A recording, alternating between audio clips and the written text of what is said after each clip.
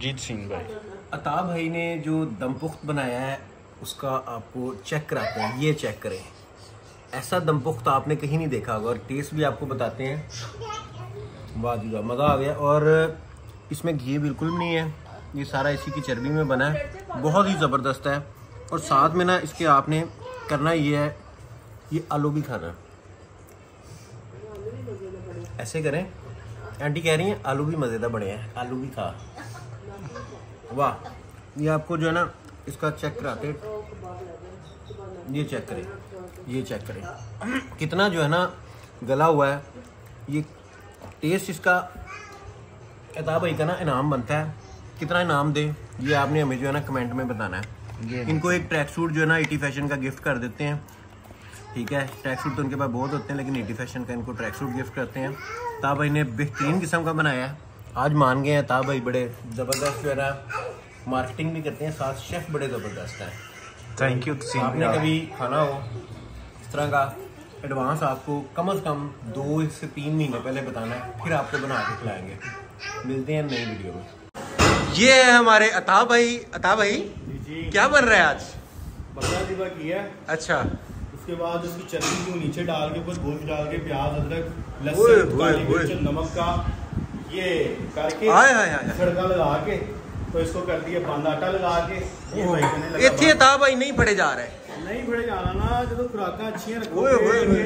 ये हमारे अता भाई हैं ए आर एक्टिव वेयर और आज जो है ना पता चलेगा इनकी कुकिंग कैसी है ये आपने देखनी है। ये चेक करें जब बन जाएगा तब भी आपको दिखाएँगे और ये मेकिंग से पहले जो है ना आपको दिखा रहे हैं। तब भाई आटा लगा के इसका सांस बंद कर रहे हैं ताकि जो है ना कहीं से इसका सांस ना आए।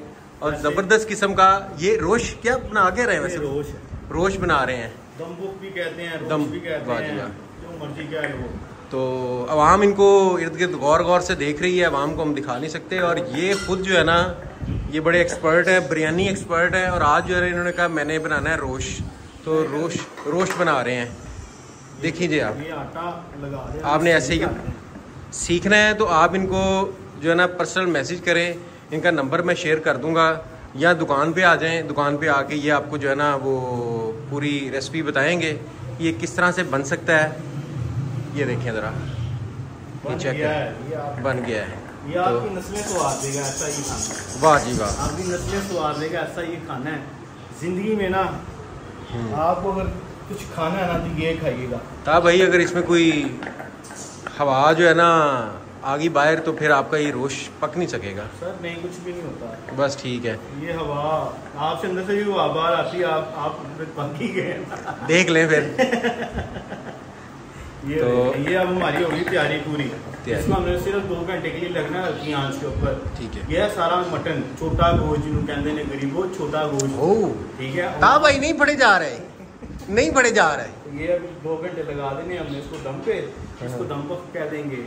तो वो दम पक के आते दम पक कह देंगे दम पुक ये था भाई आज हमें पार्टी करा रहे हैं। और कल जो है ना इन्होंने बिरयानी खिलानी है। बिरयानी जो होगी वो भी मटन बिरयानी की बीफ मटन बिरयानी होगी। बीफ नहीं होगी? चले, आ जाए, आप भी आ जाए। आ जाए आ जाए आ जाए। ये देखें ओए ओए ओए ये ये देखें अली भी बैठा हुआ है। ओए ये ओए एक ये है और इस तरह की गोदस्ती और एक कुर्बान है। ठीक है? ये हाई साहब भी हाई साहब भी लगे हुए हैं साथ साथ। क्या बनाना है? ये बिरयानी बनानी है। वो देखिए अली भी। वो है वो? बना दो। ठीक है। क्या बनाना है? पाए। पाए नहीं मैं मैं बना रहा हूँ। उन्होंने क्या बनाना है? इन्होंने रोश बनाना है रोश इन्होंने दिखा दिया है। हाँ काशी दी। ए, रोश बनाने दी। बना दो।